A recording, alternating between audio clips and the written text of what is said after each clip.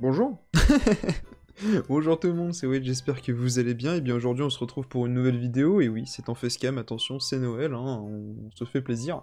Euh, j'ai enfin retrouvé ma, webcam, hein, ma copine me l'a enfin rendue, elle était détenue en otage. Euh, donc aujourd'hui, vidéo un peu particulière, vu qu'on va parler des leaks, hein, on va parler de ce qui va arriver prochainement dans le jeu. Il y a eu une update ce matin dans le jeu, donc je vous invite à aller la faire, aller sur le Play Store ou l'Apple Store pour faire la mise à jour, tout simplement. Euh, donc aujourd'hui, on va s'attaquer, bah, comme vous pouvez le voir, hein, sur les news. Donc euh, je remercie Aurel, euh, mais également Spicy, Eternal, Nicolas, qui ont été chercher les news ce matin, qui les ont mis en forme, enfin bref, pour le travail. tout simplement, donc vous avez le lien du Discord dans la description, donc rejoignez le Discord et n'hésitez pas à consulter cette rubrique, la rubrique prochainement de la partie de leak pour être tenu au courant des prochaines informations, bien évidemment. On va s'activer parce qu'il y a beaucoup, beaucoup, beaucoup d'informations qui sont tombées ce matin.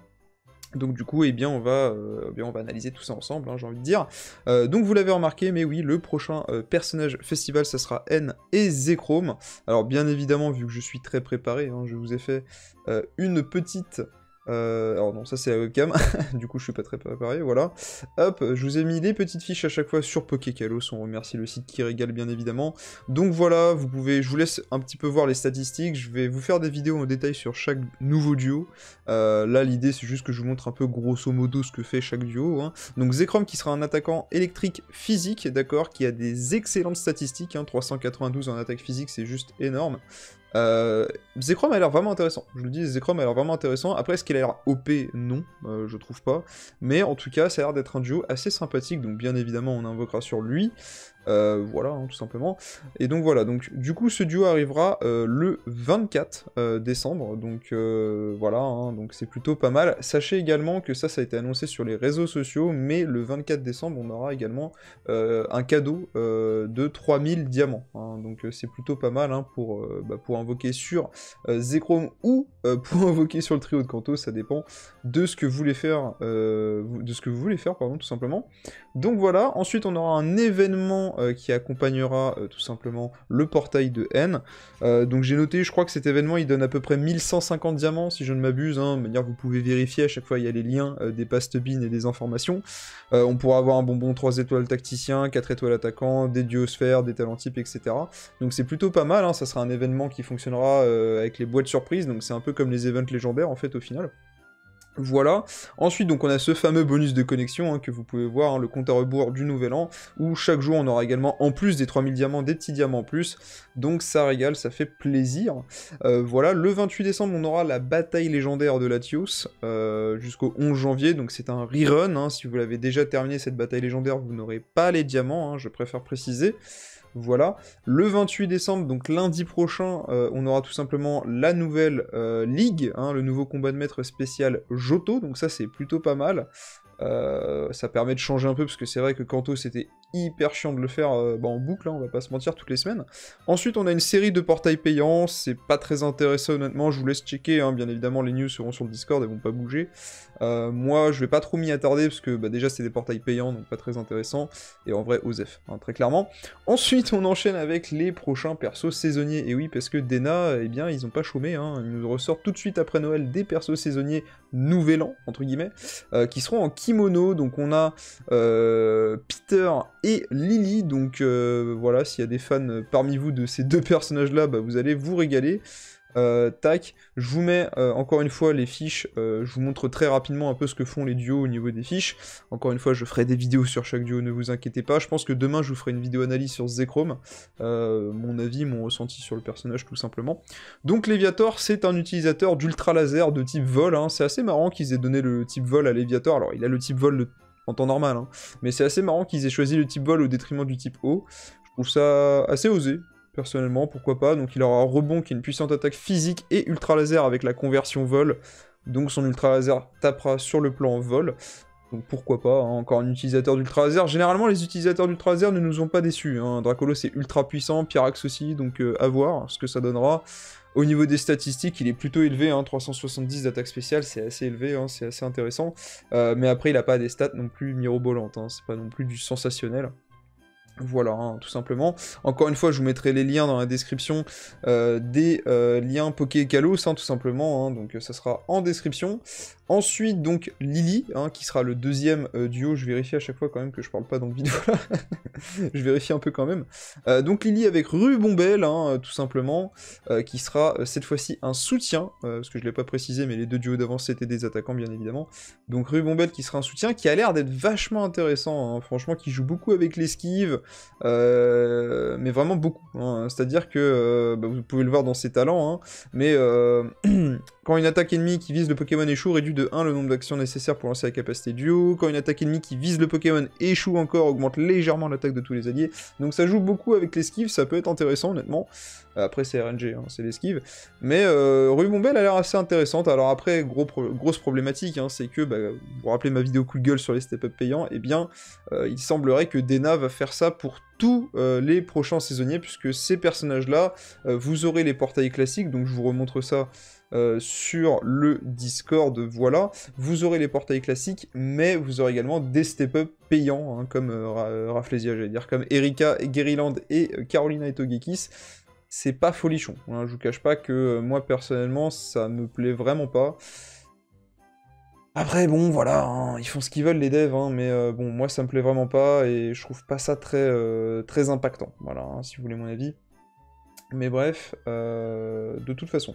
Ensuite, on aura bien évidemment, comme vous pouvez le voir ici, une story qui accompagnera euh, ces euh, events saisonniers. La story event, ça sera sous forme de shop. On pourra farmer des, matériaux pardon, spécifiques et les échanger, un peu comme le shop de Noël, en fait, tout simplement.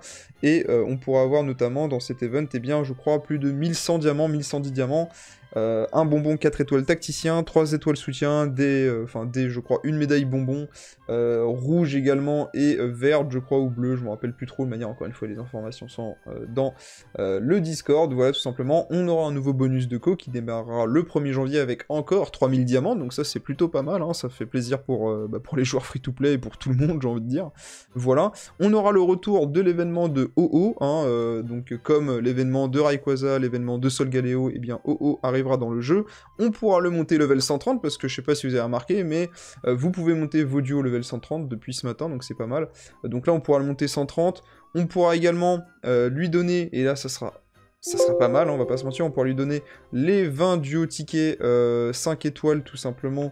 Euh, vous savez qu'on n'a pas pu lui donner euh, bah, la première fois qu'il est arrivé, parce que OO, ça fait partie de, ces légendaires où on n'a même pas pu les monter 20 sur 20 au niveau de leur potentiel, ni 5 sur 5 au niveau de leur capa duo, donc ça c'est plutôt cool. Donc voilà, ensuite on aura un événement d'œuf, voilà, hein, bon bah ça vous connaissez, hein, c'est un peu de la merde, hein, on va pas se mentir. C'est pas très intéressant, on aura quelques diamants à se faire, mais vraiment pas ouf, je crois qu'il y en a même pas 100 à récupérer, 100, 120 donc c'est pas ouf. La villa de combat, donc c'est 2000 diamants, donc ça fait très plaisir, qui va réouvrir ses portes. On a également euh, le IX de plusieurs persos, on a Motisma, on a, euh, je crois un peu plus loin, Milobellus, euh, donc ça fait plutôt plaisir, hein, surtout pour Motisma, je vous avoue que moi ça me fait plaisir, je l'attendais vraiment son IX. Euh, donc c'est plutôt euh, bueno. On a également un autre bonus de connexion qui démarrera le 10 janvier jusqu'au 20 janvier. Voilà, on pourra récupérer 500 diamants, j'ai envie de dire why not, hein, ça fait toujours ça en plus. Euh, ensuite, on a la campagne de Carolina et de Messine 6 étoiles IX. Et oui, enfin, vous savez, Carolina avait gagné le sondage de quel duo free-to-play pourrait passer 6 étoiles IX, et Carolina avait gagné largement. donc ça, c'est plutôt pas mal, et j'ai compté, on pourra se faire 1200 diamants, et on pourra bien évidemment monter la Carolina, et eh bien en IX gratuitement, hein. il faudra juste réussir des missions quotidiennes.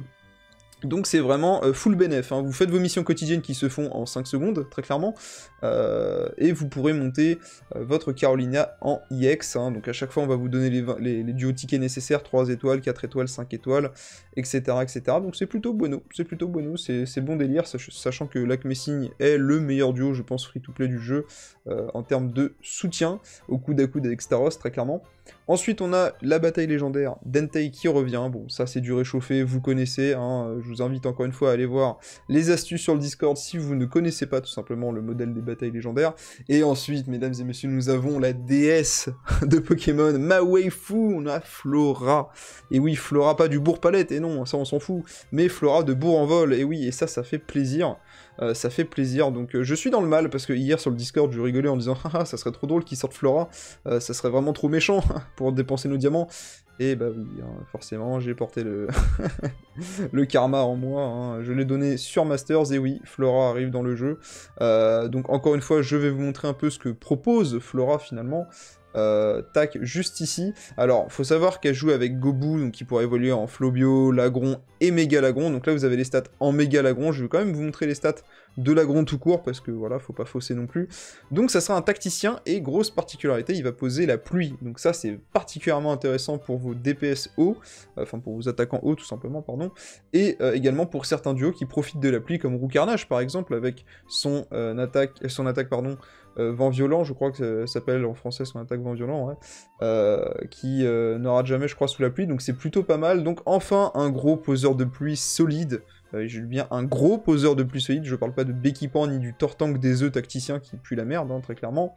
Donc ça fait extrêmement plaisir, donc bien évidemment je vous ferai une vidéo invocation sur l'agron, euh, parce que c'est ma waifu Flora bien évidemment. Et en méga on voit qu'il a des stats complètement solides, hein. franchement 367 euh, d'attaque spéciale pour un tacticien c'est quand même très très très bon, c'est plus qu'une bonne partie des attaquants, sur le plan spécial.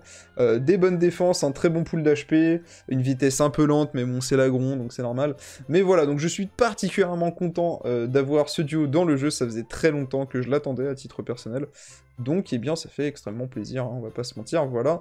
On va repasser sur le Discord, donc on aura un event euh, de Flora, euh, je vous avoue que pour cet event, j'ai pas calculé le nombre de diamants qu'on pourrait se faire, mais je pense qu'on pourra s'en faire environ 1000, hein. en général, les events, on tourne autour de 1000, 1200 diamants, certainement des duosphères et compagnie. On aura également ensuite euh, le portail d'Atalant, Timier, Spectra, parce que oui, Spectra et Terraclop vont avoir, enfin Terraclop Noctu Noir, vont avoir leur plateau, hein, encore une fois, donc ça c'est plutôt pas mal, ça arrivera le 14 janvier. Euh, on a ensuite des reruns de portail, voilà, on a le IX de Marc, on a le retour de Sharpedo en portail, etc. Bref.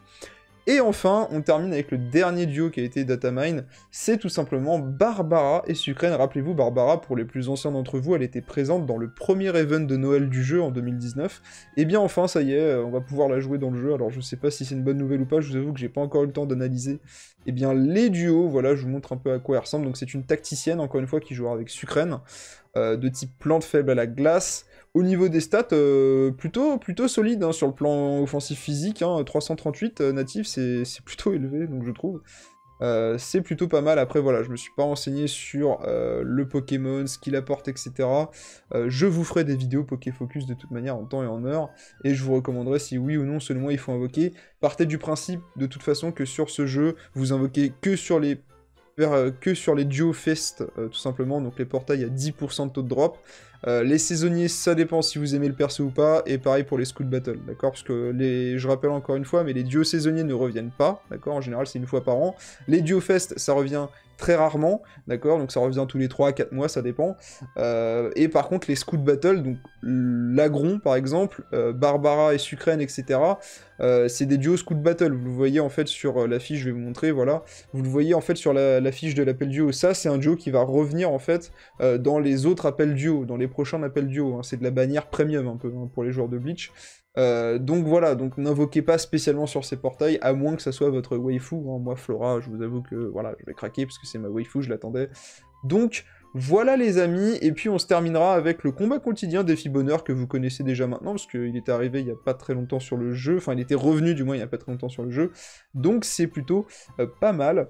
Voilà, donc euh, pour conclure, on a beaucoup de nouveaux duos, euh, des reruns de batailles légendaires et d'events légendaires, des petits events sympas, on a un event euh, d'œuf, bon bah voilà, hein, fallait bien qu'il nous en cale j'ai envie de dire, euh, et on a pas mal de diamants mine de rien, donc ça fait plaisir, plus les petites news qui ont été apportées, les talents d'équipe qui sont disponibles dès maintenant dans le jeu, le niveau 130, donc voilà, écoutez, ça fait plaisir. Il euh, n'y a rien de hypant à part Flora, bien évidemment, euh, mais je trouve ça plutôt pas mal, honnêtement.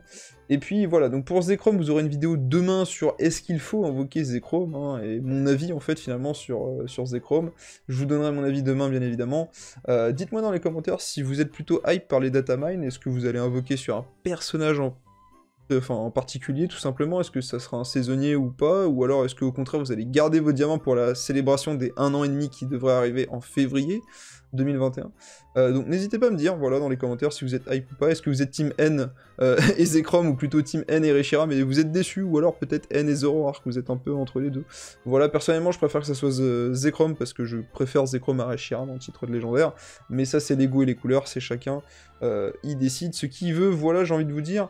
Voilà les amis, c'est la fin de cette vidéo news, hein, tout simplement, je pense qu'on a tout dit euh, en théorie, voilà, n'hésitez pas à mettre le pouce bleu, à vous abonner, à partager la vidéo, bien évidemment, pour informer vos amis.